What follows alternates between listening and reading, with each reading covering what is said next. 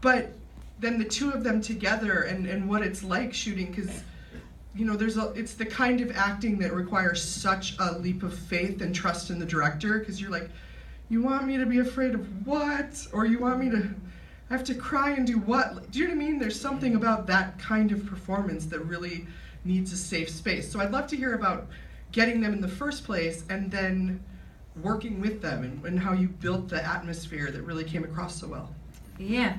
Well, um, once again, um, another really cool thing about working at Blumhouse, you know, they're not they're really known names, but they're not, you know, huge movie stars. And we just loved them. I mean, I've been a huge Lee Pace fan for a really long time.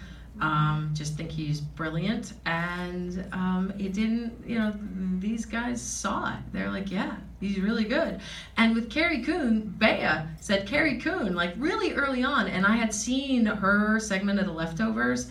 I was staying at my in-laws and I remember they were watching The Leftovers, and I was getting something out of the kitchen, and I walked by, and it was like the very beginning of Carrie Coon's segment, and I just started watching. I sat down and I didn't get up because I'd never seen anybody that fierce and fearless and amazing.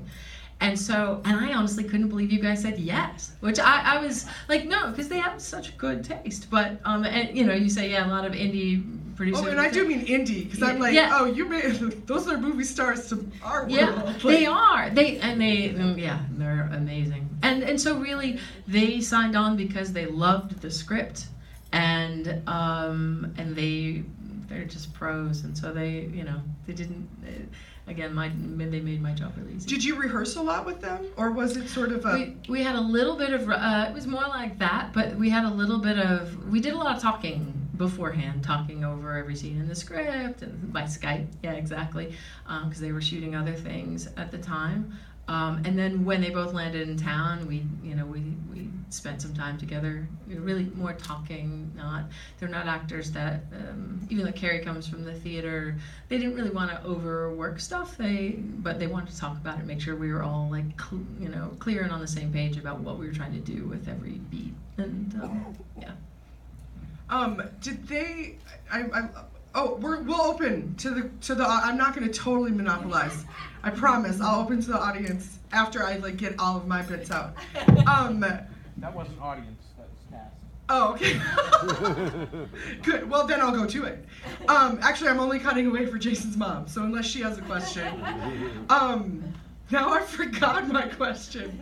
Um, I do wonder um, what. It's interesting to me to think of like who is going to respond to this when you were doing your tests and when you were who were the people that is it like a dreamy love story? Like were you when you